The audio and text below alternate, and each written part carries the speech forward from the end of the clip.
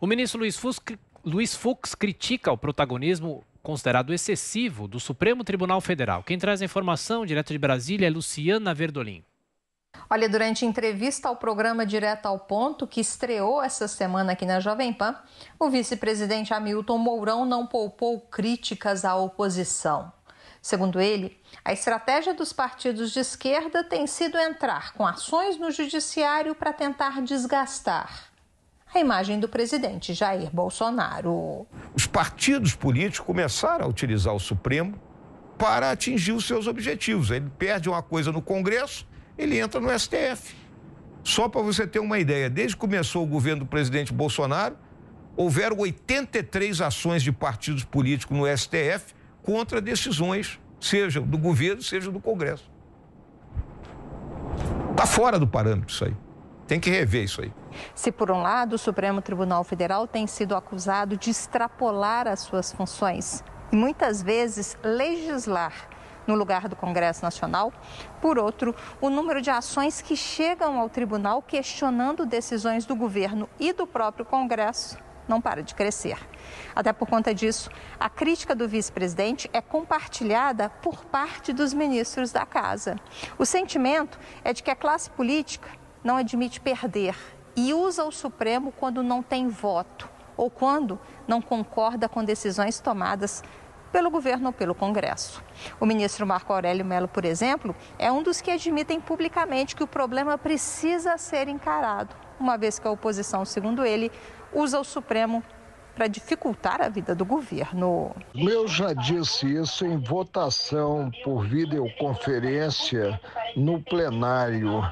Ah, realmente, os partidos que são de esquerda acionam o Supremo para fustigar em si o governo, que é um governo de direita. Durante encontro virtual ontem com presidentes dos tribunais de justiça dos estados, o presidente do Supremo Tribunal Federal, ministro Luiz Fux, afirmou que o judiciário não pode ser criticado por atuar quando provocado.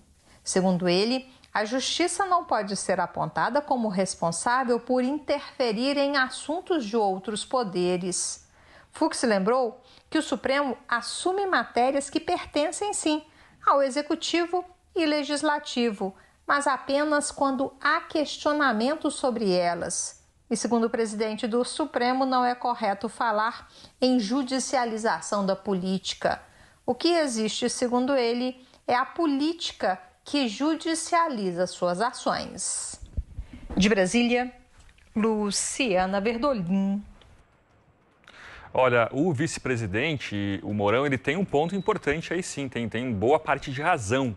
Né? Essa judicialização toda que a gente vê, nessa interferência dos juízes, dos ministros do STF na política, muitas vezes ela, ela parte do, da própria política, parte dos próprios parlamentares que, como disseram, não sabem perder. Né? A gente teve casos absurdos em relação a isso uh, esse ano. Por exemplo, uh, partidos que pediram a apreensão do celular do presidente. Como assim? Como é que você vai. Agora você quer ver o celular de alguém, então você vai pedir no STF a apreensão do celular. Então é, é uma interferência. O STF acaba tendo que uh, decidir sobre essas coisas que não lhe competem, que competem simplesmente ao reino da política. Isso não é só um pedido de interferência, mas também de criar factoides. Né? Os partidos eles querem aparecer na imprensa. Um deputado, um senador, entre ali centenas de, de parlamentares, ele quer ter algum protagonismo e acaba aí para ganhar notícias notícia, né, para ganhar imagem na televisão, nos jornais, ele acaba indo ao, STF, recorrendo, se mostrando aí supostamente comprometido com uma causa ou outra. É a velha máxima da política: jabuti não sobe em árvore. Se você vê um jabuti numa árvore, ou foi enchente ou mão de gente. O que isso quer dizer? Que o Supremo Tribunal Federal, como a Justiça em geral, ela não tem o poder de decidir sem a provocação. E aí o que, que acontece? O Supremo se transformou num terceiro turno. Quando o partido perde na Câmara e perde no Senado, vai ao Supremo. Quando o presidente edita uma norma, vai ser a Justiça, vai ao Supremo. E agora, a oposição aprendeu a ir na Justiça pedir impeachment de ministros. Quer dizer, é uma tentativa de ganhar com esta polarização e depois vai criticar o Supremo pelo protagonismo aqui na Praça dos Três Poderes. Está mesmo muito forte o Supremo e a culpa era a política, que não resolve suas pendengas, né?